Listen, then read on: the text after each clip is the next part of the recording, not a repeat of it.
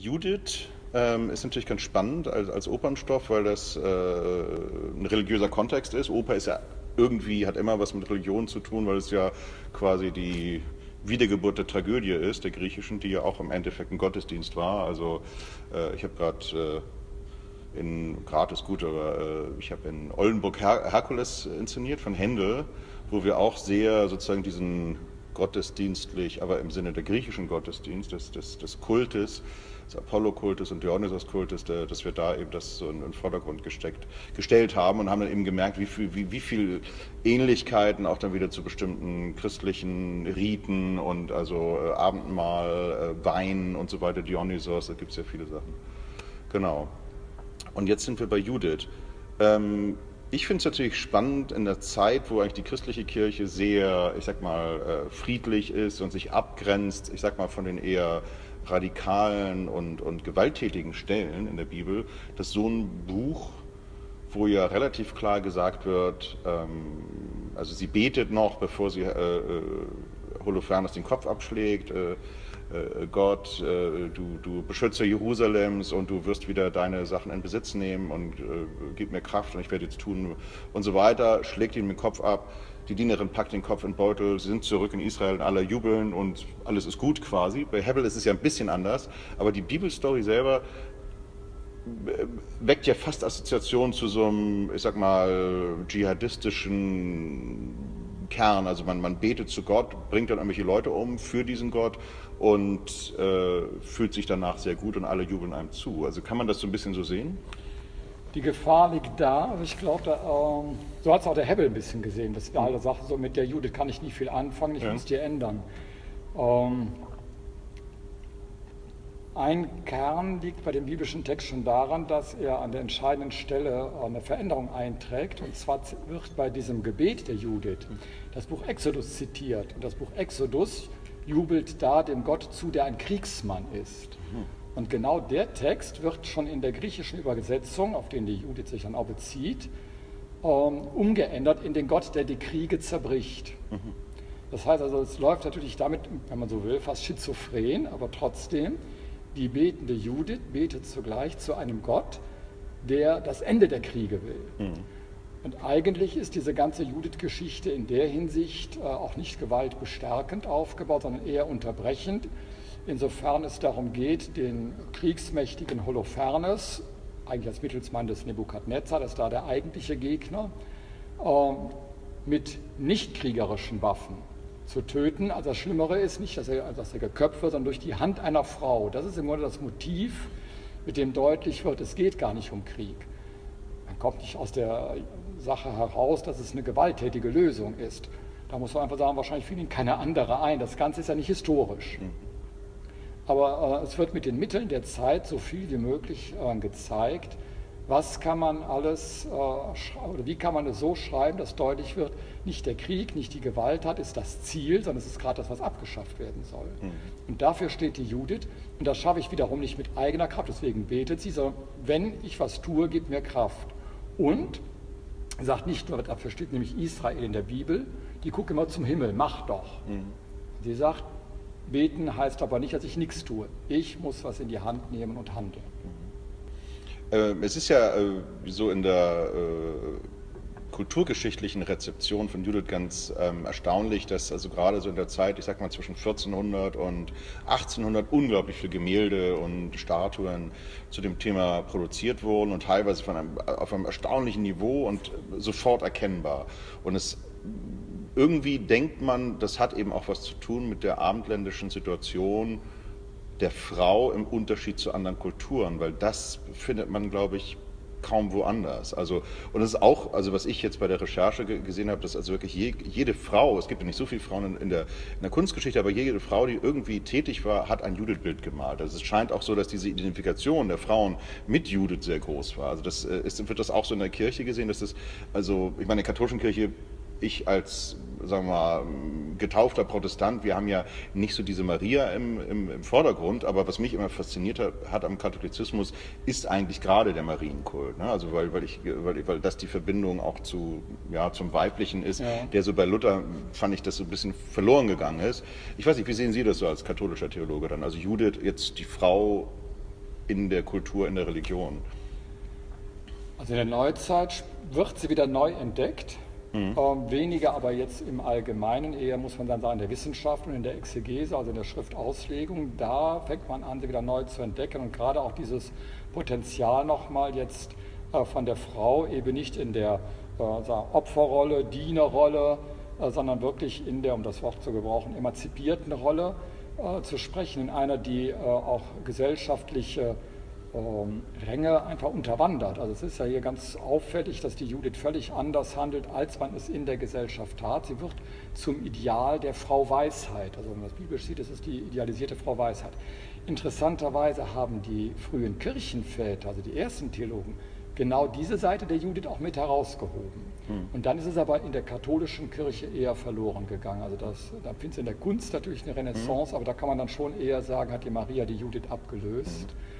Äh, und ich glaube, heute werden viele Katholiken die Judith gar nicht groß kennen, außer dass sie im Kopf haben, ja, da ist doch irgendeine, die dem Holofernes mhm. den Kopf abgehauen haben. Ja, hat. genau. Aber es wird ja, wie ich gerade gelesen habe, der Papst überlegt ja jetzt, ob weibliche, weiß nicht, Pröbste oder Diakone. Diakone. Ja, genau, also genau. Wie sehen Sie das? Sind Sie da, also äh, sind Sie da offen für? Ich meine, ich weiß nicht, ob Sie da was mit zu tun haben jetzt. Ja, habe ich auf jeden mhm. Fall. Ja, mhm. ähm, meines Erachtens spricht rein aus der Theologiegeschichte nichts dagegen. Mhm. Äh, und wo nichts gegen spricht, sollte man es auch machen. Mhm. Äh, ich finde immer schade, wenn diese äh, Themen erst aufkommen, aus der Not geboren. Mhm. Also das ist ein bisschen so die Diskussion, einfach weil Priester fehlen, weil insgesamt sozusagen das mhm. Personal dünner wird, dass man jetzt auf einmal mal in andere Richtungen guckt. Sicherlich verbunden auch mit einer, einer anderen Sicht auf Frau heutzutage. Äh, und ich meine, spannender ist nochmal von der Theologie selbst her zu gucken, gibt es eigentlich nicht intern schon gute Gründe zu sagen, wir können durchaus Diakonen haben. Was mhm. der Papst jetzt will, ist, dass er erstmal klären will, äh, was haben die eigentlich ursprünglich gemacht, und die gab es. Also da gibt es überhaupt keinen Zweifel dran, mhm. Äh, dass wir in der frühen Kirche Diakoninnen haben. Und es, die werden nicht als die beschrieben, die neben dem Priester am Altar stehen und dann Gebete dabei sprechen. Die mhm. haben andere Aufgaben gehabt. Mhm. Ähm, also was ich jetzt nochmal zurück zu Judith zu kommen, ähm, ganz äh, spannend finde bei der Oper, also jetzt auch bei dem Hebbel, also bezieht sich auf Hebbel, ist ja so quasi eine Essenz dieses Hebbelstückes. Da ist es natürlich so im Gegensatz äh, zur Bibel, dass das erotische Moment sehr, sehr im Vordergrund ist. Das heißt, dass die Judith, die ähm, in der Bibel so beschrieben wird, sie geht dahin, Sie ist wunderschön, sie geht ein und aus. Es wird so ein bisschen ausgelassen, was normalerweise wahrscheinlich passieren würde. Ich glaube, da gibt's, es gibt einen Subtext, der auch in der Kunstgeschichte aufgenommen wird, weil sie ja dann oft nackt ist und, und halb entblößt. Also da wird im Grunde genommen so ein bisschen suggeriert, äh, finde ich, und wahrscheinlich auch viele von den Malerinnen und Malern, dass sie eigentlich auch mit den, mit den erotischen Waffen einer Frau quasi den Holofernes geschlagen hat äh, indem sie ihn eben dann zum Schlafen gebracht hat und dadurch ist er schwach geworden und äh, sein, sein, äh, sie, sie, hat die Chance gesehen, seinen Kopf abzuschlagen mit dem Schwert, was an seinem Bett hing. Ähm, ist, das, äh, ist das richtig? Also wenn man das jetzt in der Bibel liest, ist das so ein Subtext, den, den man, kann man das so interpretieren oder ist das Fantasie mit Schneegestöber jetzt? Der Subtext ist drin, aber äh, also meine These ist ja, dass der biblische Text nicht wirklich operntauglich ist mhm. und die Hebbelsche Judith nicht bibeltauglich. Okay. Ähm, den erotischen Subtext gibt es auf jeden Fall. Allerdings wird, ist das ganze Judith-Buch, wenn man es vereinfacht, also eine Collage. Das heißt, es wird mit ganz vielen Zitattexten und Anspielungen gearbeitet. Und deswegen ist ganz wichtig, dass die Judith ständig bekleidet auftaucht. Diese Kleidung zitiert Fachbegriffe, also richtig aus der Damenmodenwelt der damaligen Zeit die ähm, aber an anderer Stelle begegnet, wenn, da, äh, wenn Frauen am Hof oder der oberen Gesellschaft sich anziehen, um damit deutlich zu machen, wir brauchen Gott nicht. Mhm. So, und hier haben wir jetzt eine Frau, die eigentlich Witwe ist, mhm. damit natürlich eigentlich eher in sehr schlichter Kleidung dahergeht. Jetzt zieht hier also diese ganz vornehmen Waffen, aber stellt die ganz in den Dienst Gottes. Das mhm. ist sozusagen die Aussage dahinter. Okay. Und diese Schönheit reicht dann schon, dass der Holopherne schwach wird. Okay. Ähm, der Text hält deswegen ausdrücklich fest, also der biblische Text, dass es nicht zur Vergewaltigung gekommen ist. Mhm. Aber damit gibt er natürlich an, in der Perspektive liegt das, der Leser erwartet das. Also man muss mhm. es schon ausdrücklich sagen, dass mhm. es nicht passiert ist. Ja. Aber sozusagen die, ähm, zugleich soll aber damit äh, erzählt werden, der Judith ist nicht das passiert, was ihrer Vorgängerin Dina passiert ist. Die Dina war eine Jakobstochter, Jakob die mit den zwölf ja. Söhnen. Und da gibt es eine Vergewaltigungsgeschichte, die gerecht wird von äh, einem Bruder, dem Simeon. Und deswegen wird auch erzählt, dass die Judith aus dem Stamm des Simeon ist. Mhm. Das lässt dadurch alles weg. Also im Grunde wird diese ganze Dina-Geschichte wieder aufgerollt. Und was hat der Simeon getan? Der hat nämlich dann den Vergewaltiger der, äh, der Dina auf sehr heimtückische Weise samt seinem ganzen Stamm niedergemetzelt. Okay. Also die Geschichte wird jetzt aber sozusagen eingefroren und dann auf, eine ein, auf ein Ein-Personenstück zurückgeführt. Mhm. Also nur Judith. Judith ist in gleicher Weise potenzielles Opfer was sie aber nicht mhm. wird. Und sie ist natürlich auch Täterin. Aber das nochmal in einer anderen Weise als der Simeon. Das Interessante ist ja auch, äh, wenn, man so ein bisschen über das Buch liest, äh, dass es anscheinend nicht auf Hebräisch geschrieben ist und nicht auf äh, Aramäisch, sondern auf Altgriechisch.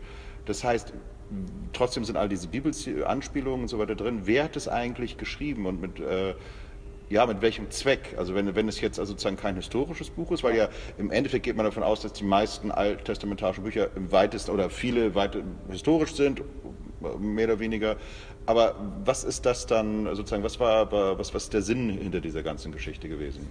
Also das Judith-Buch zählt zu der Literatur, die in der sogenannten Diaspora entstanden ist, also als äh, das Judentum sich schon zerstreut hat und eine wichtige Gruppierung unter anderem in Ägypten lebt, in Alexandrien. Und dort ist einerseits, weil Griechisch mittlerweile äh, zur Umgangssprache geworden ist, auch das Alte Testament griechisch geschrieben worden, also übersetzt worden, weil man das Hebräische gar nicht mehr konnte. Und zweitens geht es jetzt darum, aufzuzeigen, wie soll eigentlich ein Jude mit seiner Tradition und eine Jüdin mit der alten Tradition unter den Umständen der Diaspora leben. Das heißt also im Rahmen einer griechischen Kultur, die mit Judentum nichts zu tun hat, die völlig anders tickt, äh, die zum Beispiel auch die Nacktheit kennt. Ja, die Gymnasien, mhm. das Nacktcamp ja. war für den Juden total anstößig. Also mhm. deswegen ist auch nochmal wichtig, dass die Judith auch in der Hinsicht bekleidet ist. Mhm. Also jetzt wird ähm, äh, im Grunde mit der Judith den Diaspora-Juden und Jüdinnen ein Ideal vor Augen gestellt, auch in den schlimmsten Situationen und Bedrängnissituationen, die es auch gab. Es gab auch richtige Judenverfolgungen zu der Zeit schon, durchzuhalten, in der Tradition zu stehen. Deswegen wird biblisch die Judith auch ganz, äh, die hält alle Riten ein, die bringt alle Opfer dar, ist also total Torah-konform, äh, so zu leben, wie es die Judith tut. Und sie ist ein Ausbund an Weisheit. Also das heißt, man, es führt auch hin zur Gelehrsamkeit. All das wird jetzt mittels der Judith äh, im Grunde nahegelegt. Mit anderen Worten, das Judith-Buch ist ein Roman mit lehrhafter Absicht, so könnte man sagen. Und das will zugleich ermutigen in einer schwierigen Situation, wo hm. man außerhalb der eigenen Kultur leben muss. Hm. Das, hat das was mit der Hagia Sophia zu tun, im Sinne so die, die Weisheit als, das war ja die Weisheitskirche, irgendwie also äh, als Personifizierung oder so? Genau, diese, also die Rede von der Weisheit, die wird ja dann christlich weiter mhm. übernommen. Und die hat ihren Ursprung im Alten Testament, dass also die Weisheit personifiziert, die Weisheit Gottes personifiziert wird mhm. und interessanterweise als Frau verstanden wird, also mit weiblichen Attributen versehen. Von der Frau Weisheit ist die Rede. Mhm. Und es gibt da äh, bekannteren Text im Buch der Sprüche, ganz am Ende, der heißt, ein starkes Weib, wer wird sie finden? Je nach Übersetzung, eine mhm. starke Frau, wer wird mhm. sie finden? Und es wird nicht, wie es dann die katholische Kirche meist tradiert hat, ein Heimchen am Herd vorgestellt, mhm. sondern im Grunde die Managerin von äh, wirklich so einem großen Hofwesen, die mhm. für alles zuständig ist, was die Binnenorganisation anbelangt, Einkauf, äh, Sklavenbetreuung oder Haushaltskräftebetreuung, alles, was also das Hofwesen betrifft. Und der Mann ist für den Außendienst zuständig, Feldarbeit, mhm. in den Toren Verhandlungen führen. So, und diese Frau wird jetzt auch in ihrer Schönheit gepriesen und ist das Idealbild der Weisheit. Und mit der Judith machen wir jetzt Folgendes. Während im Buch der Sprüche die Ehefrau der Idealtyp ist, wird jetzt nur eins draufgesetzt, aber sogar die ideale Witwe. Mhm. Natürlich in Verfolgungszeiten durchaus auch nochmal ein Typus, der gesellschaftlich wichtig mhm. ist und die eigentlich natürlich immer in der Unterschicht zu finden war. Ne? Und die wird jetzt sozusagen zu der Identifikation, Identifikationsgestalt, damit eben auch für die äh, ärmliche Bevölkerung, für die, die sagen so, also ja, witwenmäßig kommen wir uns auch vor. Sei es, dass wir Land verloren haben, äh, die, äh, den Mann verloren haben, dass wir Kinder verloren haben, auf jeden Fall Verlust. Ähm, wie, das Buch ist ja nicht in der Tora. Ne? Und äh, wie, wie, ist das Verhältnis des Judentums? Also wenn Sie das wissen, wir haben jetzt keinen Rabbi hier, aber ich vermute, dass Theologie, da gehört das ja dazu. Wie ist das Verhältnis des Judentums zu Buch Judith? Gibt es da eine Tradition? Warum ist es da nicht drin? Wie stehen die dazu oder heute? Äh, das Judentum hat sich selbst dafür entschieden, nur an den hebräisch geschriebenen Texten festzuhalten. Damit fällt Judith raus. Also das heißt, die ist in dieser in Alexandrien mit, zusammen mit anderen Büchern erst entstanden und diese Bücher hat man also nicht übernommen, weil es nicht in, unter anderem weil es nicht in Hebräisch geschrieben ist. Dann gibt es so ein Binnenargument im Judentum, äh, der Geist Gottes sei dann verschwunden, habe sich verflüchtigt. Äh, das ist also diese ganze Zeit zwischen 4. Jahrhundert und der Jahrtausendwende, wenn man so will, also vor Christus, wo man sagt, die Zeit, was da entsteht, das gehört jetzt nicht mehr mhm. zu unserem Kanon dazu. Aber das heißt nicht, dass es nicht gelesen wird. Ähm, das Judith-Buch, weil es eben in der griechischen Zeit spielt und zum Beispiel auch erkennen lässt, dass der Tempel schon wieder eingeweiht ist. Ähm, das ist mehrfach passiert in der, in der Zeit nach der babylonischen Gefangenschaft, ähm, gehört also in die Riten hinein der Feier zur Tempelweihe, der bekannt ist Chanukka-Fest, mhm. das gibt bei uns immer in der Adventszeit. Genau. Und da liest man im Judentum auch ganz gern das Judith-Buch. Okay. Zwar nicht offiziell sozusagen, also es spielt jetzt nicht äh, zwingend eine Rolle, aber da gehört es mit hinein, mhm. äh, weil, da weil das gut hineinpasst. Also äh, es hat aber keine verbindliche Rolle jetzt im Kanon-Sinne. Ne? Und wird dann auch in der Synagoge quasi nicht gelesen, kann es ja, ja, nicht, ne? geht ja nicht, ne? wird nicht gelesen.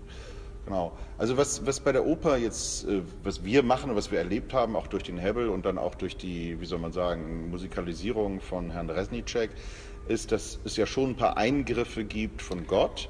Also das, das ist äh, das Bedeutendste für uns ist, dass der, der stumme ähm, Blinde auf einmal sprechen und sehen kann und dann auf einmal, über, also zumindest ist es in dieser Libretto-Fassung so, bei Hebel ist es ähnlich, ein bisschen ja. anders, dass er dann sagt, steinigt ihn, also das heißt zu dem Bruder, der eigentlich die Tore öffnen will und sich ergeben will, mehr oder weniger, auf einmal wird sein eigener Bruder sagt, kann sprechen und sagt, steinigt ihn, was mm, ja ein relativ ähm, brutaler Einfall Gottes ist, um das mal sanft zu sagen. Ähm, äh, wie, wie ist das also mit diesen äh, es gibt ja so im Alten Testament, auch gerade heutzutage wird ja, wenn man über Koran spricht und so weiter, wird ja oft verglichen. Da sagt man ja, im Alten Testament gibt es auch die Beutel voller Vorhäute, die geholt werden und so weiter. Das weiß ich noch vom Religionsunterricht meines Sohnes, der fand das immer am tollsten. Die, die Kriegssachen fand er immer toll, weil die hatte eine Religionslehrerin, die, also das war ein bisschen wie Lord of the Rings, hat die das aufgezogen. Deshalb waren gerade die brutalen Sachen, damit hat sie die Kinder, also die Jungs vor allem natürlich äh, fasziniert. Ähm, wie, wie, wie, geht man damit heute um? Also wenn, wenn wirklich so eine Situation ist, jetzt eben hier bei Judith, aber es gibt wahrscheinlich auch ähnliche Sachen im, überhaupt im Alten Testament, wo wirklich ganz klar, also Gott in einer relativ gewalttätigen und ich sag mal unsensiblen Weise dann Wunder tut. Der hätte ja irgendwas anderes sagen können oder irgendwie ein paar Adler kreisen und keine Ahnung, also eine Inspiration, aber nein, der Bruder bekommt seine Stimme und benutzt sie dazu zu sagen, steinigt ihn und sein eigener Bruder äh, stirbt.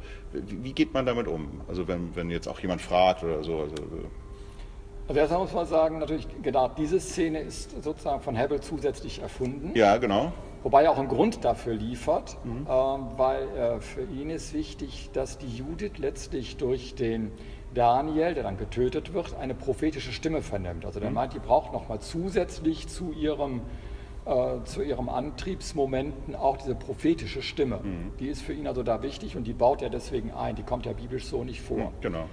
Ähm, nichtsdestotrotz haben wir genügend äh, Gewalttexte, mhm. auch mit Gott verbunden im Alten Testament, die gerade heutzutage natürlich Thema sind. Ähm,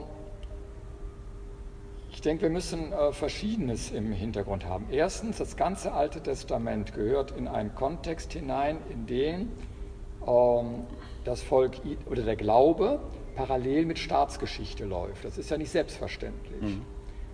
Äh, und damit hat das Volk Israel oder der Staat Israel dann auch die ganze Zeit politische Probleme und ist in Gewalttaten verstrickt und hat es mit weitaus mächtigeren Gegnern zu tun, als Israel selbst je war. Mhm. So, für die Zeit muss man, hat man einfach den Eindruck, wenn ein biblischer Verfasser in dieser Zeit erzählt hätte, unser Gott kann das alles ganz friedlich, hätten die gesagt, wunderbar, den kann man nicht gebrauchen, denn wenn es dann ernst wird, mhm. kann der offensichtlich nichts. Das ja. wäre ein schwacher Gott. Ja. Das ist ein Motiv dafür. Äh, insgesamt gibt es eindeutig eine Entwicklung im Alten Testament, in dem Augenblick, wo Israel nicht mehr Staat ist, damit also auch die militärischen Kräfte noch mehr schwinden, als sie schon je war, waren, weil man jetzt Provinz ist oder letztlich nur eine Religionsgemeinschaft in fremden Kontexten, verschwinden diese Gewalttätigkeiten auch. Also das Buch Judith hat sie jetzt oder reduziert sie deswegen auf die Einzeltat der Judith, hat aber jetzt nicht mehr sozusagen die äh, Riesenmetzelei, um die Assyrer zu besiegen. Mhm. Das wird also schon deutlich, sondern es entstehen in diesen Spätzeiten gerade die großen Friedensvisionen. Schwerter aus Flugscharen mhm. und Vergleichbares. Aber wäre ein weiterer Aspekt. Dann kommt man sehr gerne mit dem Christentum und sagt, ja, aber wir sind ja ganz friedlich, bei uns mhm. kommt das nicht vor. Das Neue Testament entsteht nicht wie das Alte über mehrere hundert Jahre, sondern mal gerade zwischen, ähm, sagen wir grob, 50 nach Christus und 120 nach Christus. Mhm. So, in der Zeit geht es um eine winzige Religionsgemeinschaft. Nur kleiner mittelgroße Gemeinden ohne politische Absicht, hat auch gar keine Möglichkeit äh, gehabt im Römischen Reich. In dem Augenblick, wo das Christentum Staatsreligion wird, führt der gute Eusebius von Caesarea, Hoftheologe ähm, von Kaiser Konstantin, sofort den Bellum Justum, die Lehre vom gerechten mhm. Krieg an. Also uns holt das Thema wieder ein, weil auf einmal Religion wieder instrumentalisiert wird für Staat oder in, jedenfalls in einen Zusammenhang gerät mit staatlichen Fragen. Und dann steht man auf einmal wieder nämlich mit dem Thema Krieg zusammen. Mhm. Letzte, unsere sehr pazifistische Vorstellung, die wir natürlich gerne da schon hätten, mhm. basiert letztlich auf Vorstellungen, die im Wesentlichen nach 45, 1945 entstanden sind. Mhm. Und da halte ich es immer für schwierig, das schon alles vor 2000 Jahren zu. Mhm. Das hätten die doch auch schon alles haben müssen. Mhm. Das scheint mir nicht zu gelingen. Deswegen finde ich umso wichtiger zu sehen, wo aber tendenziell diese äh, Gewalt dann doch wieder immer wieder äh, dieser Gewalt widersprochen wird, die am Anfang deutlicher da ist, aber wo man sich von diesen Gottesbildern mehr und mehr verabschiedet und sagt, nee, das geht in eine andere Richtung. Mhm. Naja, also ist, mit anderen Worten ist es ganz gut, dass der Papst nur noch seine Schweizer Garde hat und äh, kein Weltreich mehr, ja. sonst müsste er Kriege führen und so weiter. Ja. Gut, okay. Nee, das ist tatsächlich einleuchtend. Ich meine, das ist auch ganz interessant jetzt auch mit der Islamdebatte. Ne? Also das in dem Moment, wo das Staaten sind, wo das äh, Expansionen sind, Osmanisches Reich immer noch und, und also das sehr verbunden ist mit der Staatlichkeit, ist eben auch wahrscheinlich da eine ganz andere, wie soll man sagen, also ein anderes Gefühl dazu oder eine andere Notwendigkeit im Endeffekt. Das ist natürlich ein, äh, tatsächlich ein sehr spannendes Argument. Finde ich sehr einleuchtend. Sehr gut. Okay, es geht gleich los mit unserer Probe. Ich würde also erstmal bedanke ich mich.